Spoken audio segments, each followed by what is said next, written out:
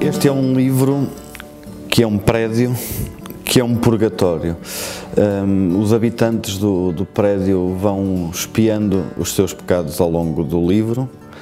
Alguns salvam-se, outros ficam danados, condenados, exatamente como acontece fora, cá fora, na, na realidade.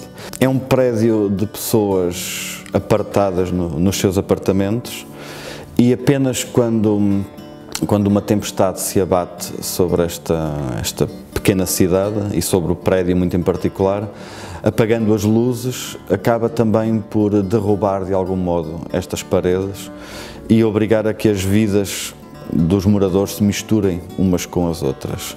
Cada uma das personagens deste prédio tem um céu diferente, eh, que não é exatamente igual ao dos outros, tem também um Deus diferente, se quisermos, mas no final isso não impede que, que se aproximem, que se beijem e até que consigam rezar juntos.